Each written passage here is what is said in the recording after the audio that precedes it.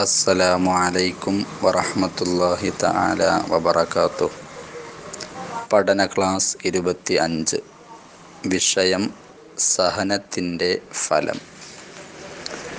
അൽഹംദുലില്ലാഹി റബ്ബിൽ ആലമീൻ. വൽ ആഖിബത്തു ലിൽ മുത്തഖീൻ. വലാ ഉദ്വാന ഇല്ലാ അലൽ ളാലിമീൻ ലാ ഷബീഹ ലഹു വലാ മസീല ലഹു വഹുവ വലിയ്യുസ് സ്വാലിഹീൻ. അള്ളാഹുമ്മ സല്ലി വസല്ലിം വബാരിക് അല റസൂലിക സയ്യിദിന മുഹമ്മദ്. സ്നേഹ ധന്യരായ സുഹൃത്തുക്കളെ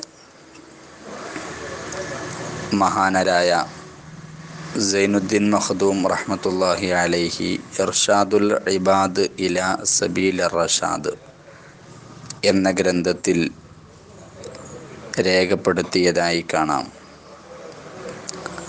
സ്വാലിഹീങ്ങളിൽപ്പെട്ട ഒരാൾക്ക് നല്ല ഒരു കൂട്ടുകാരനുണ്ടായിരുന്നു. അദ്ദേഹം വർഷത്തിലൊരിക്കൽ തന്റെ കൂട്ടുകാരനെ സന്ദർശിക്കാൻ എത്തുമായിരുന്നു ഒരിക്കൽ അദ്ദേഹം സന്ദർശനത്തിനെത്തിയപ്പോൾ കൂട്ടുകാരൻ വീട്ടിലില്ല. വാതിലിൽ മുട്ടിയപ്പോൾ സ്നേഹിതന്റെ ഭാര്യ ചോദിച്ചു നിങ്ങളാരാണ്? അദ്ദേഹം പറഞ്ഞു നിങ്ങളുടെ ഭർത്താവിന്റെ സ്നേഹിതനാണ്. കൂട്ടുകാരനെ കാണാൻ വന്നതാണ്. ആ സ്ത്രീ പറഞ്ഞു അയാൾ വിറക് ശേഖരിക്കാൻ പോയിരിക്കുകയാണ്. മടങ്ങി എത്താതിരുന്നാൽ മതിയായിരുന്നു.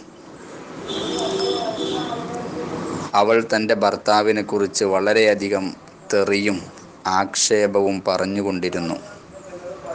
അതിനിടയിൽ കൂട്ടുകാരൻ കടന്നു വന്നു അദ്ദേഹത്തിന്റെ വിറക് ഭാണ്ഡം ചുമന്നുകൊണ്ട് കൂടെ ഒരു സിംഹവും ഉണ്ട്. തന്റെ കൂട്ടുകാരന്റെ അരികിലെത്തിയപ്പോൾ അദ്ദേഹം സലാം പറഞ്ഞു സ്വാഗതം മോദി. പിന്നീട് വിറകിന്റെ കെട്ട് സിംഹത്തിന്റെ മുതുകിൽ നിന്ന് താഴെ ഇറക്കി സിംഹത്തോട് പറഞ്ഞു പൊയ്ക്കോളൂ അള്ളാഹു നിനക്ക് ബറക്കത്ത് ചെയ്യട്ടെ. ശേഷം ചങ്ങാതിയെയും കൂട്ടി വീടിനുള്ളിൽ പ്രവേശിച്ചു. ഭാര്യ തെറി വിളിച്ചുകൊണ്ടേയിരിക്കുന്നു. അദ്ദേഹം പ്രതികരിക്കുന്നേയില്ല. അദ്ദേഹം കൂട്ടുകാരന് ഭക്ഷണം കൊടുത്ത് സൽക്കരിച്ചു സംസാരിച്ചു യാത്രയാക്കി. ഇതെല്ലാം കണ്ട് അത്ഭുതത്തോടെ യാത്രയായ കൂട്ടുകാരൻ അടുത്ത വർഷവും സ്നേഹിതനെ കാണാൻ അതേ ഭവനത്തിലേക്ക് വരികയാണ്. മുൻ വർഷത്തെ പോലെ തന്നെ അദ്ദേഹം വീട്ടിലില്ല. വാതിൽ മുട്ടിയപ്പോൾ ഭാര്യ ചോദിച്ചു ആരാണ്? അദ്ദേഹം പറഞ്ഞു നിങ്ങളുടെ ഭർത്താവിന്റെ സ്നേഹിതനാണ്. ആ സ്ത്രീ അദ്ദേഹത്തെ സ്വാഗതം ചെയ്യുകയും ഭർത്താവിനെയും കൂട്ടുകാരനെയും വല്ലാതെ പുകഴ്ത്തുകയും ചെയ്തു. അല്പസമയത്തെ കാത്തിരിപ്പിനൊടുവിൽ സ്വന്തം മുതുകിൽ വിറക് ചുമന്ന് സ്നേഹിതൻ എത്തി. അന്ന് സിംഹം ഇല്ല. അദ്ദേഹം തന്റെ കൂട്ടുകാരനെ സ്വീകരിച്ച് സൽക്കരിച്ച് യാത്ര പറയുമ്പോൾ നിഗൂഢമായ ഈ സംഭവങ്ങളെക്കുറിച്ച് കൂട്ടുകാരൻ ചോദിച്ചു.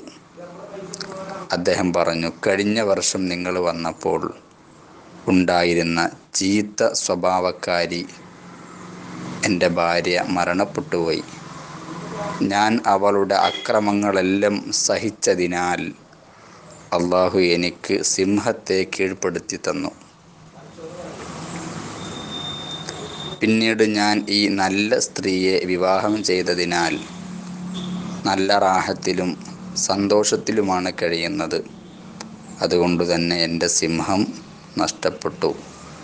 ഞാൻ തന്നെ വിറക് ചുമക്കേണ്ടി വരുന്നു. അതാണ് കാരണം എന്ന് ആ മഹാൻ പറഞ്ഞതായി കാണാം. ഭാര്യയിൽ നിന്ന് മക്കളിൽ നിന്ന് ഉറ്റവരിൽ നിന്ന് ഉടയവരിൽ നിന്ന് ഏൽക്കേണ്ടി വരുന്ന വാചക മർദ്ദനങ്ങളും ഗാർഹിക പീഡനങ്ങളുമൊക്കെ സഹനത്തോടുകൂടെ തരണം ചെയ്യുമ്പോൾ നാം ഇറങ്ങിത്തിരിക്കുന്ന ഏതെങ്കിലുമൊക്കെ മേഖലയിൽ അള്ളാഹു ഒരു സമാധാനത്തിന്റെ കൈത്താങ് തരും. അരമനയിൽ സന്തോഷവും റാഹത്തുമൊക്കെയാണെങ്കിൽ പുറത്ത് അരങ്ങത്ത് ചിലപ്പം വിഷമങ്ങളൊക്കെ ഉണ്ടാകും. ഏതായാലും സഹനത്തിലൂടെ നന്മ നേടിയെടുക്കാം. എന്ന ഒരു ഗുണപാഠം ഈ കഥയിൽ മഹദൂം തങ്ങൾ നമുക്ക് പകരുന്നു. അള്ളാഹു മഹാന്മാരുടെ മദത് നമുക്ക് നിലനിർത്തി തരുമാറാകട്ടെ. ദുആ വസിയ്യത്തോടെ അസ്സലാമു അലൈക്കും വറഹ്മത്തുള്ളാഹി